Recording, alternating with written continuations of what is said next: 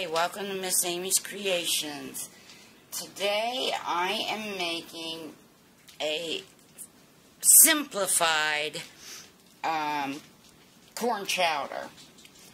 Now, um, what you will need is about a cup of um, bacon crumbs. Uh, you can crumble it, chop it, however. You want to pre-cook that medium onion. I am using two cans of creamed corn. And I have about, no, three or four medium potatoes cut up.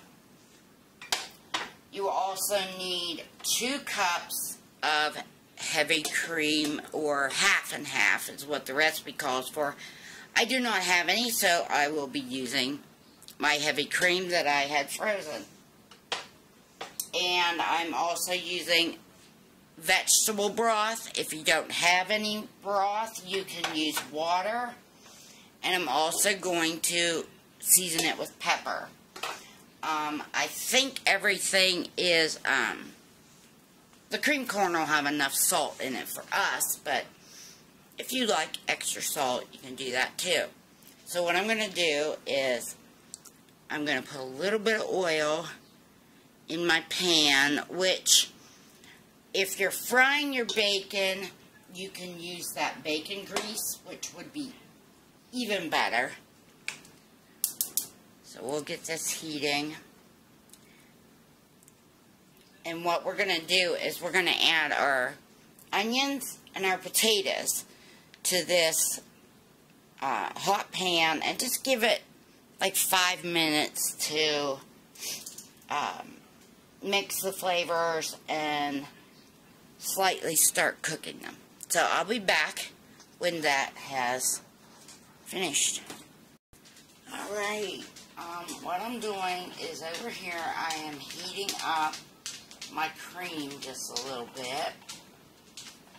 Um, that's how this particular recipe said to do it. But my potatoes have cooked. Everything is looking good in here.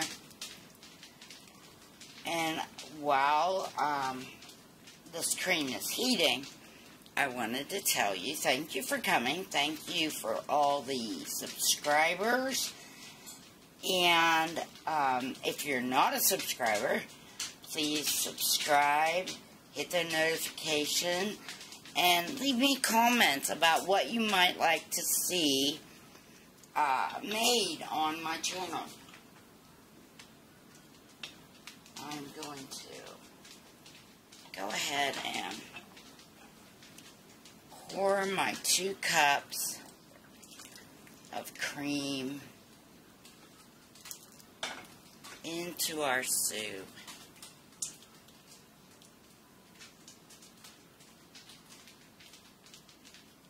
That is it. Um, like I said, you could add salt, pepper, however much you need. But this is a little bit quicker than the traditional cutting off the cob and, and making your soup. So, there you go, folks. I hope you enjoy. And I'll see you next time.